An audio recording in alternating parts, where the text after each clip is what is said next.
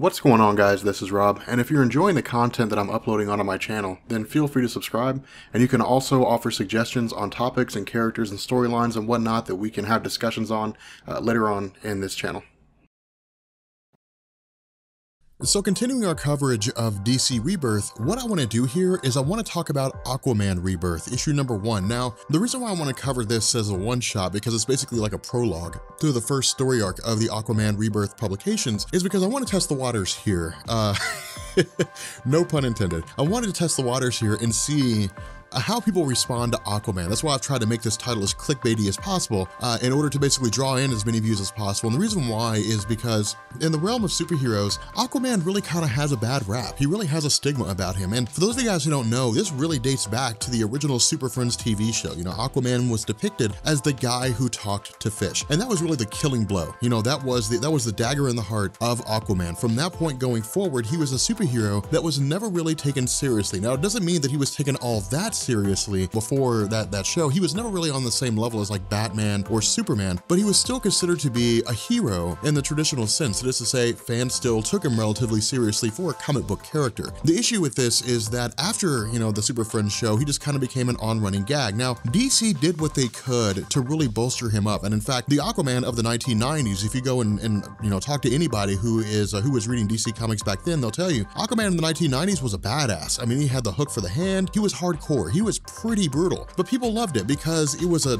total opposite. It was, it was the exact opposite of how people perceived him as goofy and nonsensical. The problem with this was that it was difficult to keep that story going on for any real measure of time because different writers had different views of his character. It was much the same way in the New 52. When DC came back and they did a total reboot of their uh, of their publications with the exception of the Green Lanterns and uh, of Batman, Aquaman was one of the characters who was rebooted. And under the writing of Geoff Johns, the character really received a deep focus in the sense that Geoff Johns did not shy away from the perception of Aquaman as a guy who talked to fish. And in fact, this was addressed within the first issue, I think, when Aquaman was greeted with a fan, you know, or, or someone who knew who he was. And he said, you know, the fan said, aren't you the guy that talks to fish? And Aquaman said, I don't talk to fish. You know, it was something about subtle manipulations, whatever it is. You know, at the same time, it was also an instance whereby the question was, if you are the king of Atlantis and you are standing up for, you know, basically the, the inhabitants of the oceans, why are you eating seafood? And so these are the kind of questions that Geoff Johns addressed in the stories, and it was done very tastefully and it was done very well. The issue with this is that again, much like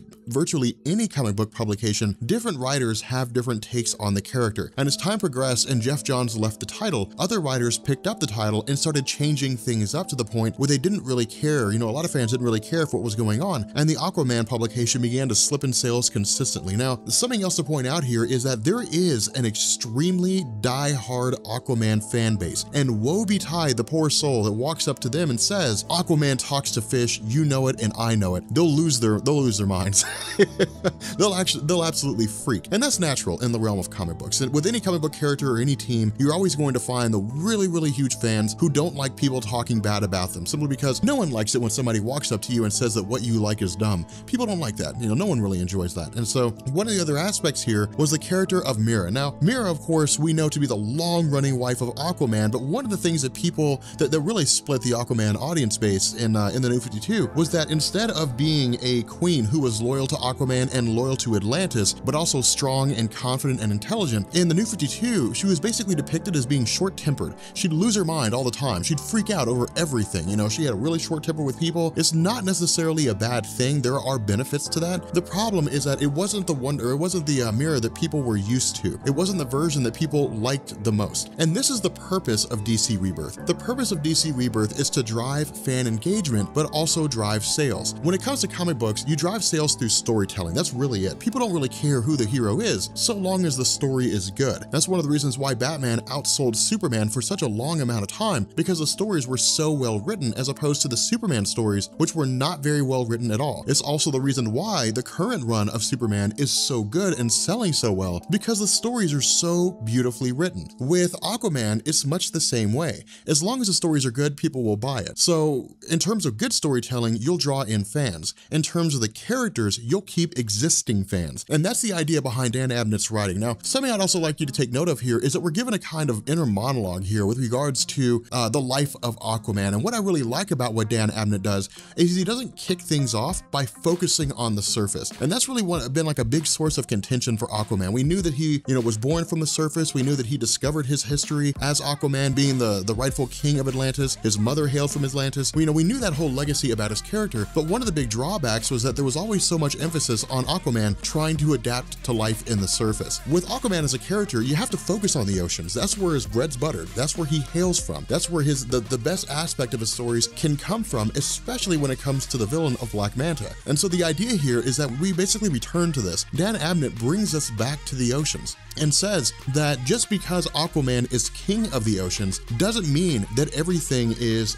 perfect. We always knew that he had his own villains in the oceans, but with regards to this situation here, we're also being refreshed. We're, you know, we're being brought back to the idea of the deluge. Now, for those of you guys who don't know, the deluge is basically kind of uh, this, this rebel faction within the kingdom of Atlantis. With regards to Atlantis itself, it very much has a hierarchy like the surface world, you know, for, you know, right, wrong, or otherwise. In our everyday lives, we have a hierarchy. There's a hierarchy of attraction, there's a hierarchy of wealth, there's a hierarchy of intelligence. It starts at the very top with the wealthy, most, you know, most attractive or the most intelligent people, all the way down to the bottom with those who are least attractive, least wealthy, and least intelligent. With Atlantis, it's much the same way. You have the royal family at the top. You have Aquaman, you have his wife, you know, but then at the bottom, you have what's called the ninth level, or you have people who basically refer to themselves as bottom feeders. Now, again, Dan Abnett tells us this is not designed to be a slur term. It's not designed to tear them down. It's simply what they are in that society. And those individuals recognize that. But in addition to this, the deluge basically recruits from those individuals. Now, the reason why Dan Abnett gives us such a strong understanding of this is that these people who are at the, the bottom of the food chain, so to speak, in the realm of Atlantis aren't cast outs. There aren't, they aren't people who are just kind of trying to make their way. They serve a purpose. But more so than that, their loyalty to Atlantis is of the utmost. That is to say,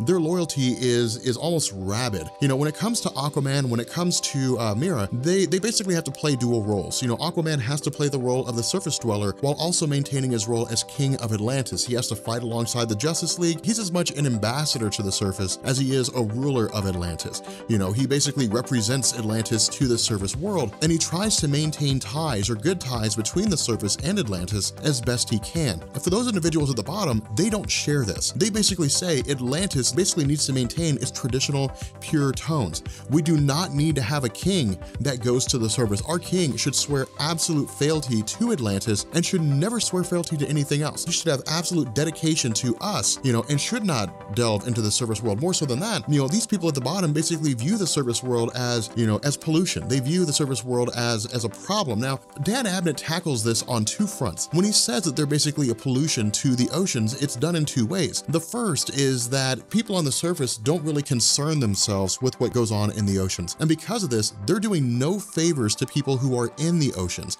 That's the first thing. The second thing is that by virtue of the first, people not caring about the oceans are polluting the oceans. They're throwing trash in the oceans. There's, you know, there's radiation and so on and so forth that goes into the oceans. And because of that, the Atlantean population does not look at the surface world with favorable eyes. Now, the other half of this is that because Aquaman is basically fighting against the deluge, trying to keep this uh, this rebellion at bay, when Queen Mera is addressed by one of the soldiers, the question is also, should they bring in their their elite warriors?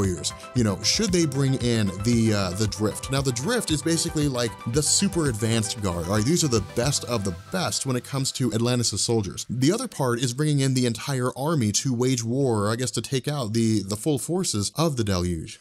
Now, the reason why Mera says this should not be done is because the surface would become aware of what's going on, and their focus may begin to shift away from Aquaman being a superhero to Aquaman being uh, a problem, you know, to Aquaman being a hassle. Now, Dan Abnett doesn't say this directly, but if we were to read between the lines here, we could probably get away with making the case that because Mera and Aquaman are ambassadors, ensuring the surface world maintains a perception of Aquaman is just as important as Aquaman acting out that perception. And so if if this conflict were to be were to, were to become known by the surface world, it would give off the indication that Aquaman cannot control his own people. And the question is, if Aquaman can't control his own kingdom, what hope does he have of being an effective superhero on Earth? And so public sentiment would begin to shift away from support for Aquaman and begin to basically move towards the idea that he's an incompetent superhero. Now, this is basically kind of like Dan Abnett tapping into the uh, the run of Geoff Johns, not directly, it's more or less uh, like an indirect kind of reference to it in the sense that Geoff Johns dealt very heavily with the idea of Aquaman being perceived as an inept superhero, that his powers weren't that great. He was a guy that talked to fish. You know, people didn't take him seriously. The idea is to avoid that perception from coming true. Now, we know by virtue of going through this comic that Aquaman is pretty badass in terms of the things that he's capable of, in terms of his strength, his might, his dedication to Atlantis, while also trying to uh, maintain ties to the surface world. But one of the other things Dan Abnett also does too is he shows both sides of the perspectives of Aquaman. It's only for an instance, it's not for a huge deal, but there are a couple of fans who are basically looking at the cover of Time magazine, which depicts Aquaman, Wonder Woman, and Superman standing together. One of the fans says that Aquaman is extremely hot. The other one says that she doesn't care about a superhero that talks to a seafood platter. This basically represents the fan base, or this represents the reader base of DC. It represents those of you guys out there who will always say that Aquaman just talks to fish. He's just a superhero that talks to fish. That's all he does. But it also represents the fan base that says, no, he doesn't. He is a legitimate superhero. It's just they don't grasp how awesome Aquaman is. you know, but the fact remains here that with Aquaman holding his own against the deluge, this is basically just an argument. This is a this is a depiction by Dan Abnett telling us this is where things stand. Yes, Aquaman defeated the deluge, or the leader of the deluge. Yes, Aquaman's able to hold his own. Yes, Aquaman is a formidable hero, but it's Dan Abnett telling us that the stories of Aquaman are not just about him being a superhero on the surface, fighting alongside the Justice League, and being misunderstood by society, that the Kingdom of Atlantis has its own problems. It has its own issues. There's a lot of things to cope with. There's a lot of things to handle, that being a king is not the easiest thing in the world. And so as this story begins to wrap up, what we learn is this entire exposition, this entire monologue as it's been given to us is basically coming from Black Manta. And what he does is he says that Aquaman is effectively a killer. Aquaman is a murderer. And this is basically Dan Abnett telling us this is the root behind why it is that Black Manta is going to go forward as a villain of Aquaman and why it is that he considers himself Aquaman's main enemy. Now, if you guys are interested in learning more about this, if you guys want to know more about why it is a Black Manta is such a foe, make sure you guys drop a like, make sure you guys hit the sub button to become part of the Rob Corps, and uh, post a comment down below. You know, let me know what you guys think about all this. You know, let me know what your guys' feelings are, because, you know, I, I really enjoy what Dan Abnett is doing with Aquaman right now. I feel like following the writing of Geoff Johns, this kind of storytelling was much needed for Aquaman's character. And I feel like it's a great step towards reinvigorating him for the DC Rebirth line of comics going into the future in terms of moving him away from the guy